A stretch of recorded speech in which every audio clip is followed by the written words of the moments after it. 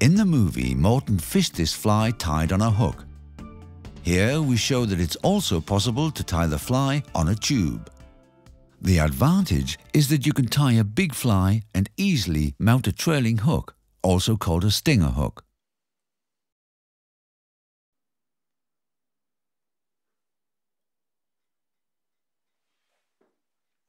For this fly, Morten prefers rabbit or hare for the zonker strip. Cut the skin into very thin strips so you get a very soft and mobile tail.